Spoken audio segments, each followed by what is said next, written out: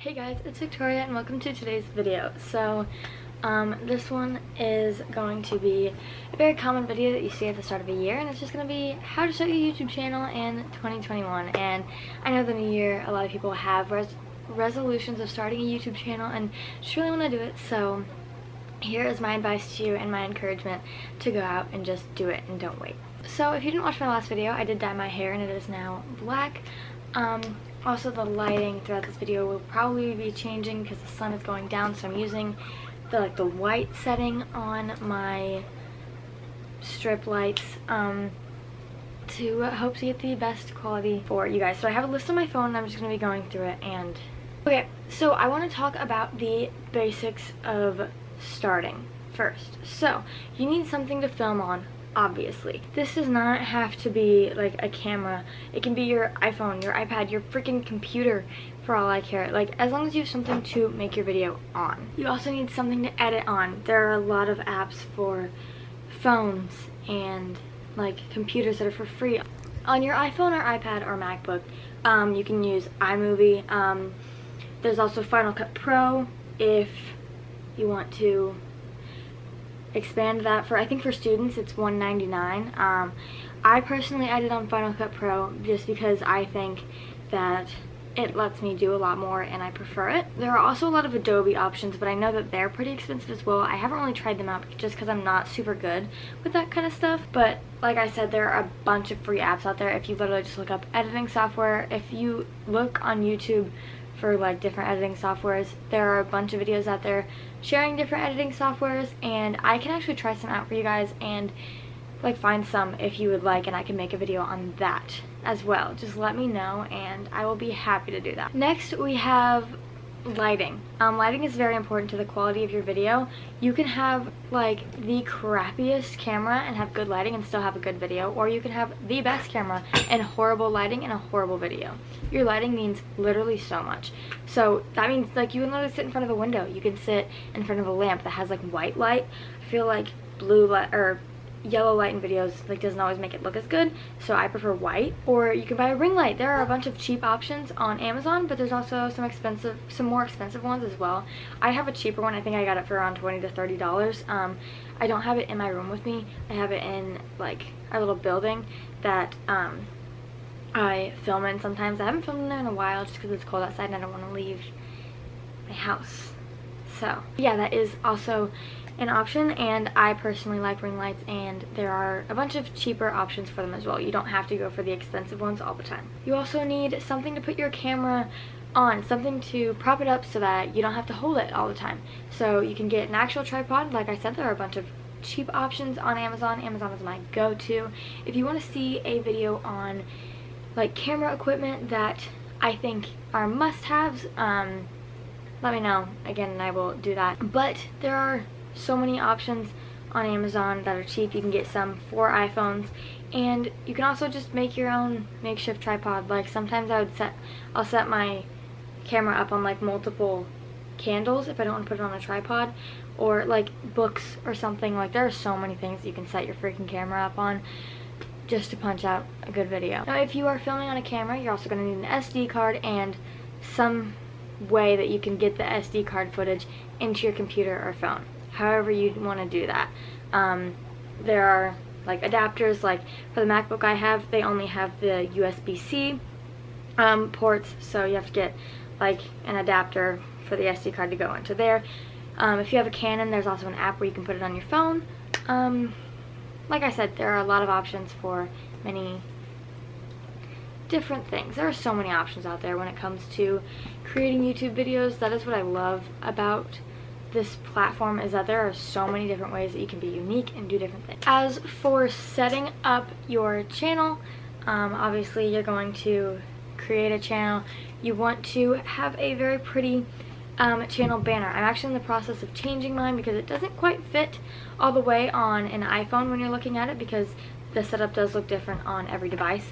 So I am currently in the process of changing my channel banner, but I'm not quite sure how I want it to look and I'm also kind of changing my aesthetic as well. We're getting there. I'm not quite sure where I'm going. You also want to have a good looking um, profile picture, something that looks professional, like you look like you have a channel. It could just be a really good selfie if you want it to be. I do believe that mine is just a selfie right now. Um, but you know, you want it to look like you have a channel. So like if you comment on somebody's videos and they see like your little profile picture, they're like, oh, that person looks like they have a channel. And then, you know, maybe they'll click on it. Next, you're not going to get subscribers without a video. So make your first video, upload it. Doesn't matter what it was. My first video was literally just me being like, hey, I'm Victoria. I'm new out here. I just made my channel and, um, you know, here's what you're probably going to be seeing from me.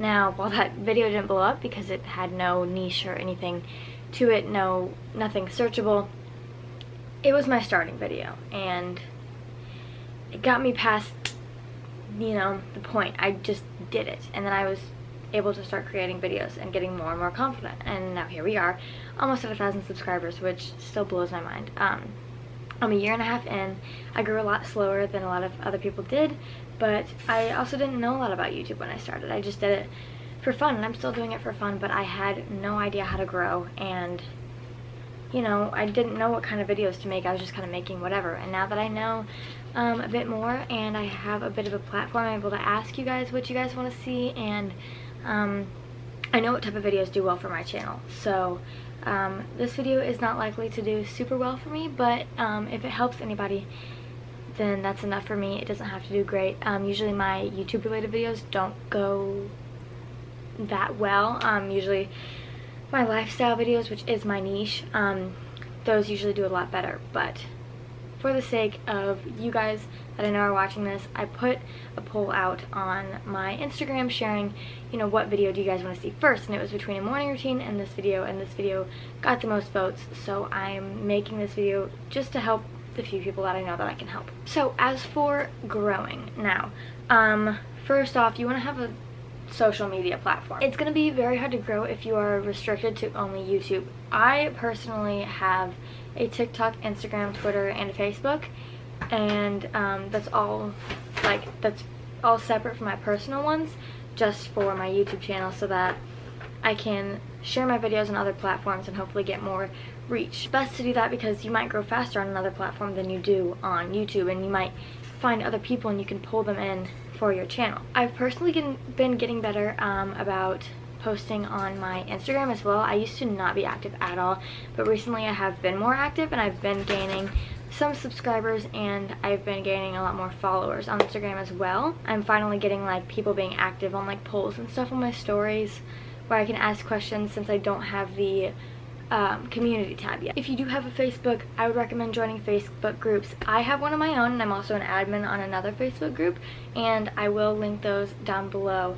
But um, I think joining Facebook groups is so important. You can share your videos on there if you're in certain ones that allow that. Um, every group has different rules. I know in mine, um, the only rules that I have are like no sub for sub and no like just spamming your link on other people's posts when it's not asked for. You can ask for other people's links in your post and be like, hey, this is my video. Um, share your links down below and I'll check out your channels. Um, as long as like it's asked for, then you can share your link in the comments. But like you can share your new videos. I know I always do. Um, and then in several other groups. And that helps especially if you do it in the first 24 hours. It helps you get that first reach and then if YouTube sees your video doing well starting off, then it'll start promoting it to more people. And I find that it really helps my videos. SEO research is so important. SEO is search engine optimization. And basically, YouTube is a giant search engine. It is powered by Google. Um, you want to make videos that are searchable. So things like how to grow your YouTube channel in 2021, um, how to start a YouTube channel in 2021. My winter morning routine, my summer morning routine, um, my winter night routine, stuff like that that people are looking up. Or like how to train a cat, how to litter box train a cat, how to do winged eyeliner, like stuff like that that people are searching. That is the best way to start off your channel. Now a lot of people say don't do vlogs because nobody's searching about your life and nobody is super concerned about it if they don't know you and if you don't have a platform.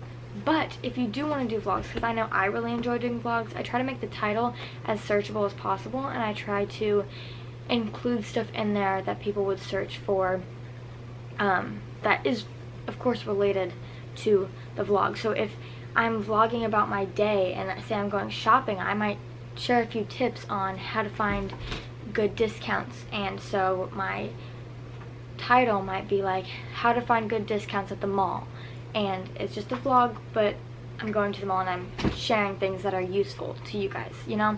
And as your platform gets bigger, more people will watch vlogs. Um, I know, like, during quarantine, productive day in my life videos were super, super um, popular and I got a little bit of traction off of those. Um, not a whole lot, but they were like a huge thing and they still kind of are but I know I took advantage of that trend and just went for it. Um, watch videos like this one um, of how to grow your channel. That is how I learned a lot about YouTube because like I said earlier, I knew literally nothing about YouTube when I started my channel and was making videos. I knew like nothing, nothing at all. Um, so I watched a bunch of videos. I found Catherine Manning, who used to be the content bug. She shared so many videos on how to grow on YouTube and SEO and how she got from zero to I think she's at 300,000 now. I would recommend her channel. There's also lots of other people that have shared their YouTube growth tips and it's definitely something that I would recommend doing to learn how to grow. Share your channel with family and friends as hard as it seems and as scary as it is. Most people will be supportive of it, especially if they're good friends. Um, you'll figure out who like the fake friends and the real friends are through this. Like I one of my friends, I didn't tell them about my channel when we became friends and they literally like one day were like Tori why didn't you tell me you had a YouTube channel why did I have to find it on Instagram and I was like I don't talk about it a lot because I get bullied for it. And they were literally like excuse me. And so they're so supportive um but you will find out who your real friends are through this. And it is it's definitely worth it and I highly recommend um, letting your friends and family know and it'll help you get your first few subscribers as well. Be active on everything, on all your social medias, on your YouTube channel, be consistent, post often, post on a schedule, like I post every single Wednesday, um, sometimes it's Thursdays depending on depending on how the week's going. When I was in quarantine and over summer, I posted on Wednesdays and Sundays, um, but during school I only posted on Wednesdays. It really just Depends on your schedule, but post consistently and post on a schedule. I always post at 12 p.m. on Wednesdays whenever, um, you know, things are going okay. Sometimes I do get really stressed with school and don't have enough time. Just be as consistent as possible. And lastly, just be patient. Um, the subscribers don't always come rolling in fast. For some people, they blow up immediately. For some, like me, they take a year and a half to even reach a thousand subscribers. Um, it took me almost a year to hit a hundred, and then for a while I was gaining like 100 subscribers a month and then I kind of plateaued, but it was because I wasn't being as active. And now that I'm more active and consistent and posting on a schedule again, I am growing even more. So for some people, it does take longer, and for some, you blow up fast. It really just depends on if you're lucky or not. And I think it's really important to just be patient, stay consistent, stay positive, and just keep going. Alright guys, that is all that I have for this video. If you guys enjoyed this video, be sure to give it a thumbs up and um, subscribe down below. I post videos every Wednesday at 12 p.m. Central Time, like I said. And um, yeah, I will see you guys in the next video.